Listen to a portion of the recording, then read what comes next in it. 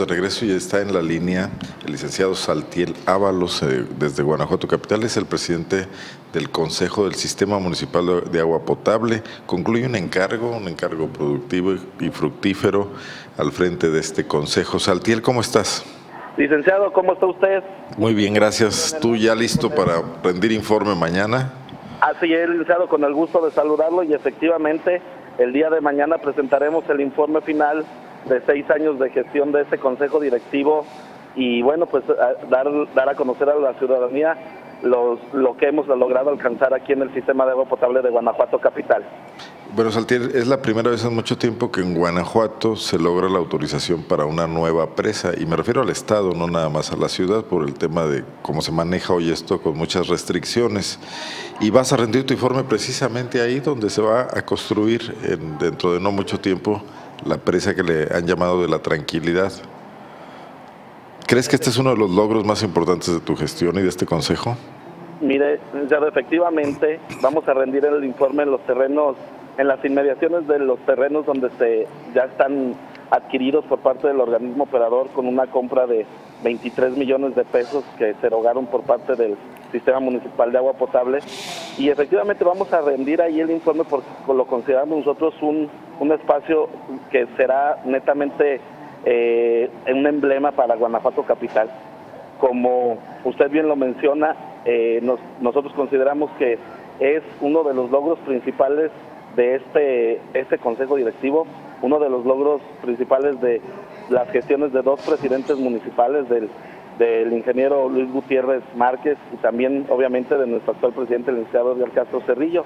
Pero también es de reconocer que este proyecto tiene un creador y tiene un productor, y ese creador y productor es el licenciado Francisco Arroyo Vieira, que fue quien nos impulsó fuertemente en la Ciudad de México para que Guanajuato Capital tenga un nuevo vaso captador que le dará una planeación a esta ciudad por los próximos 25 o 30 años, licenciado.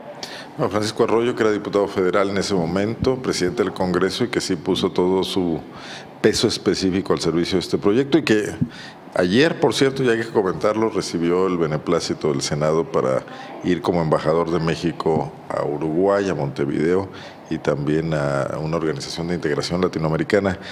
Bueno, va a estar seguramente mañana con ustedes, ¿verdad?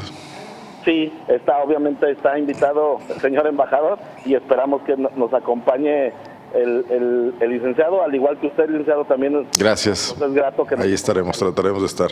Saltir, bueno, ahorita me dices a qué horas va a ser este evento, pero platícame algo antes, la presa. Eh, esto viene a, se hizo posible porque evidentemente las los dos vasos con los que cuenta Guanajuato están ya inservibles prácticamente por el asolve de un siglo o más en cada uno de ellos. Va, ¿Viene la presa a sustituir esa capacidad de retención de agua? Efectivamente, como usted lo menciona, tenemos ya presas con niveles de asolve importantes eh, eh, en, Guanajuato y que finalmente eh, al, presentar el proyecto pues fue algo que la gente de la Conagua a nivel federal observaron de manera inmediata lo que estábamos solicitando nosotros es la restitución de esos volúmenes de asolve que, están perdidos y que ya son prácticamente inoperantes.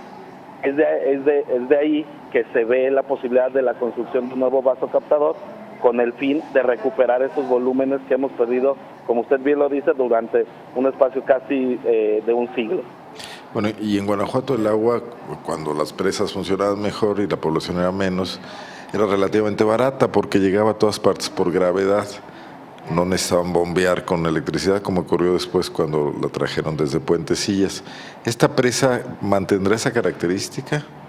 ¿Te evitará un excesivo gasto en energía eléctrica que tiene muchos sistemas con serios problemas financieros, Saltiel? E, efectivamente, iniciado, esta presa, pues eh, nosotros a través, cuando la última crisis que sufrimos hace algunos años, en el bombeo de, los pozos hacia nuestras plantas potabilizadoras, pues fue un fuerte detrimento en las arcas del, organismo. Ahí se tuvieron que pagar casi cerca de 23 millones, 24 millones. ¿Lo que costó el terreno de la presa?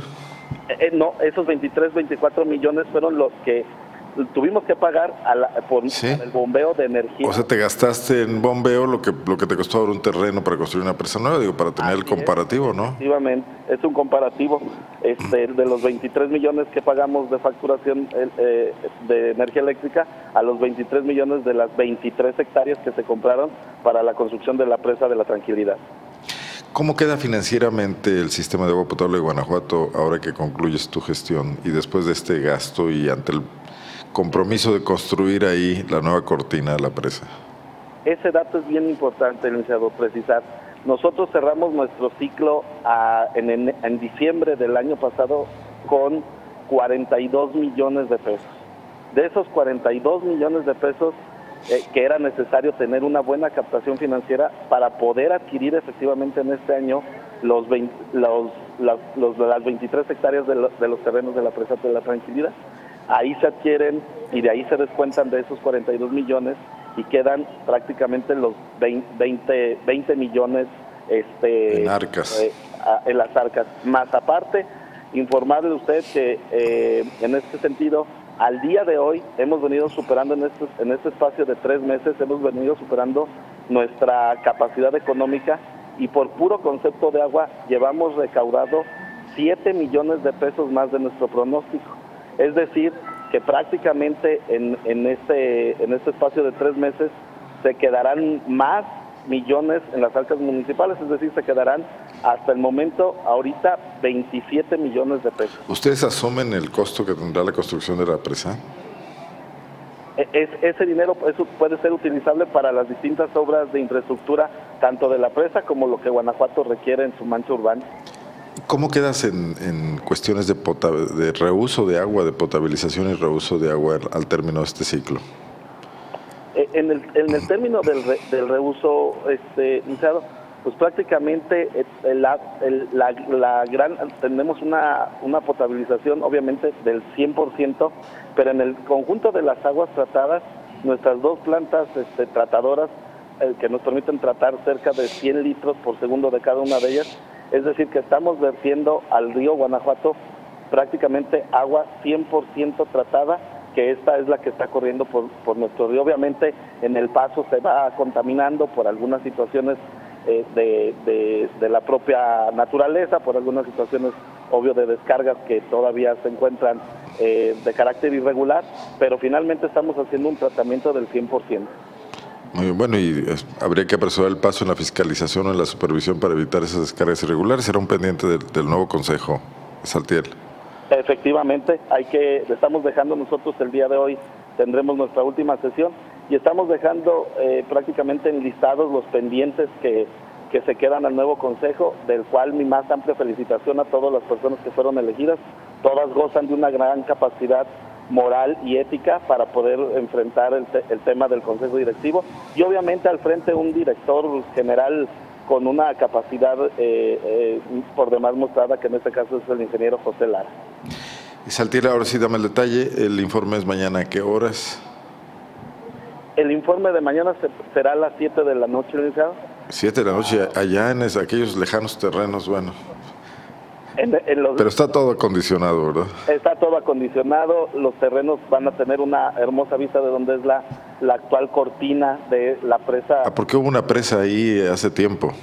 Efectivamente, y, vamos a hacerlo exactamente en la parte de enfrente de, los, de, de la cortina de la presa de Burrón. ¿De cuándo data esta cortina? tiene alrededor, esta cortina lo, hemos investigado, tiene alrededor de, cerca de los 70, 80 años, licenciado. No, no, no tan vieja como pensamos, pero sí es eh, antigua. Saltier, pues éxito mañana y también felicidades por tu gestión de seis años frente a CIMAPAG. Ya continuarás en otros temas de, servicio público y los platicaremos después. Perfecto, licenciado. Le agradezco mucho el enlace y de verdad lo esperamos mañana que nos, podamos que nos pueda acompañar con su presencia. Yo te agradezco mucho la invitación. Buenas tardes. Gracias, licenciado. Que esté muy bien. Saltiel Ábalos, eh, hoy su último día al frente del sistema de agua potable como presidente del Consejo en Guanajuato Capital. Mañana rinde su informe y un nuevo Consejo tomará posesión. Bueno, hacemos una brevísima pausa. Vamos a, eh, tenemos noticias todavía y tenemos también la zona de juego.